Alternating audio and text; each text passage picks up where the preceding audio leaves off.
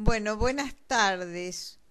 Como se aproxima una fecha patria y los chicos deben estar buscando para las escuelas poemas a la patria, voy a leer uno que publiqué en el último libro, Conocimientos, que se llama Saqué la patria a pasear. Y dice, por años estuve ausente de mi país, mi ciudad. Estudié y trabajé en América, USA. También estuve en otros países de Sudamérica, porque entonces trabajaba de consultora. Soy médica.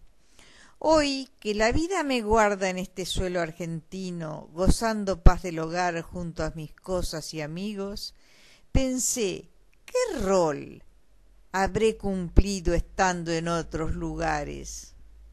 Saqué a pasear a mi patria llevando lengua y modales, mostrándoles mi figura, mis costumbres, mi saber, y dialogando con gente que conocí o pude ver.